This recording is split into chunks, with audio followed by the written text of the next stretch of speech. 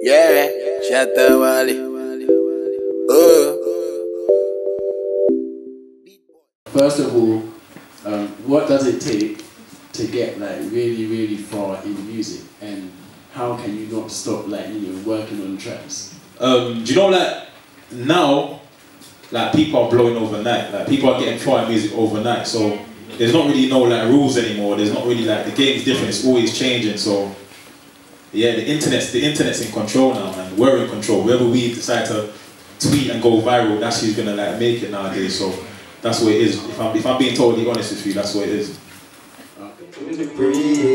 One more time and the recipe would have been 100 degrees. Would have been 100 degrees. I tell her, say please. She wanna go know people where going like this. And if I don't know you, then you're not family. And if I'm not with a painting, then I'm up on these streets. Then I'm up on these streets. Hey, she be individual helps black girls with the confidence. Yeah, hundred percent, man.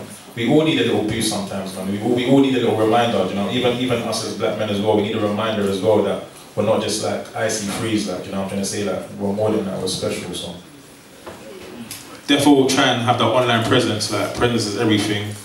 Um, as I was saying before as well, like people really like if people can feel your character and, kind of, and the fans kind of feel like I kind of know him, or you got something about you like I know him, I like him. That helps a lot. And um, social media is a mad one nowadays because it's so wild. Like something new is happening every single day, like with different people. So I haven't really got tips like that, but just try and have do something where you got a, a big online presence where people want to see what you're gonna do next week, or they want to see what you're gonna post, or like if your thing's comedy, like make sure your thing's always different. You got the, the jokes that people ain't thought of or whatever. Like it's just how you want to use it, but just try and make sure you got that um, big presence, like because people's gonna remember you for that. And social media plays a big part in what's popping nowadays. So yeah.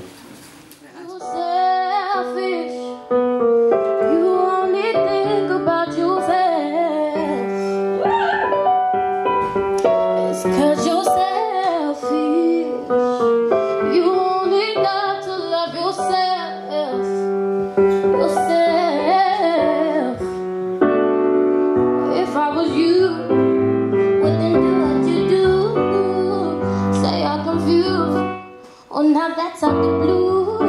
When you try to hide it, you ever. The use of hashtags. Yeah. What do you think of that? What do you recommend as the top ones to use as a urban artist? The What top ones- hashtags. What ones would you not use? What ones would you use?